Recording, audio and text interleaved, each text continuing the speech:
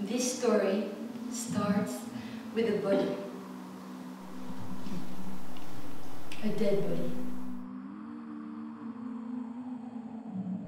We've got two brothers, and both of them dead. And Creon has decreed that a decent burial shall be given to one, but not to the other.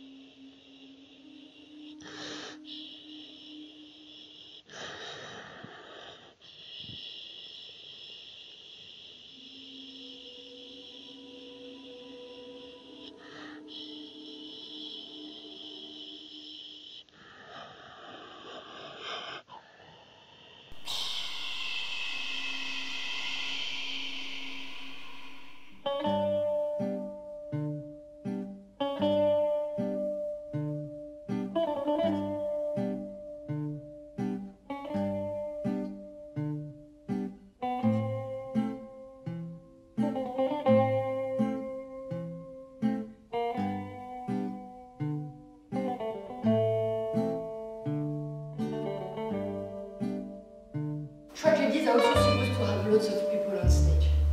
This afternoon, you have only me.